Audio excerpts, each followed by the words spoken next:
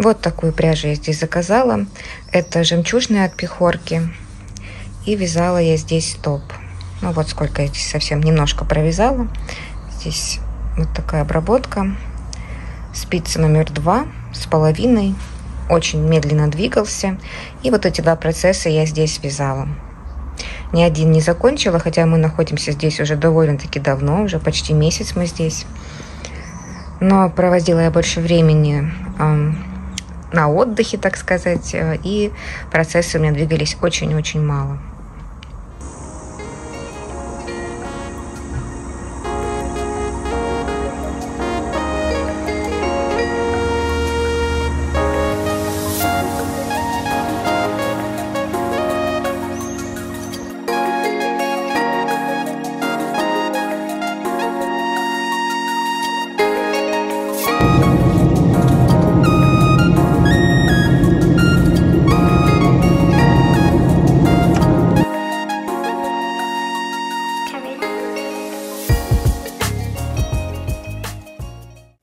А сейчас мы отправились на нашу малую родину, место силы.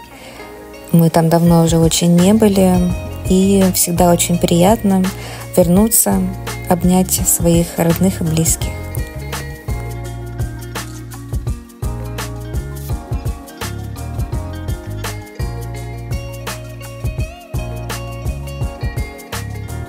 Мы возвращаемся уже домой. Я, как обычно, что-то начинаю вязать. Но это закончилось у меня все на уровне того, что я начала вязать воротничок, горловину. Так это все и осталось.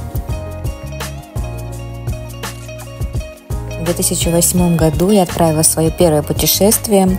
Оно было по этой реке, которая называется Иртыш. И на теплоходе мы проходили именно это место. Направлялись мы в город Салихард. Необычайные красоты и незабываемые впечатления.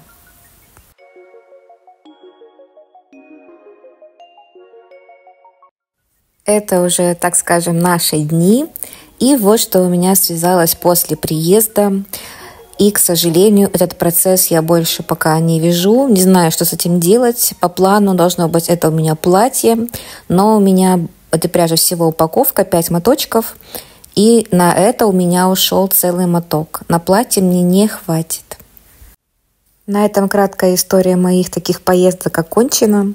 И здесь я оставлю свою ссылку на мой канал на Рутубе. Как раз сейчас снимаю новое видео, в котором я вижу очень красивый процесс. Так что добро пожаловать, а на сегодня всем пока.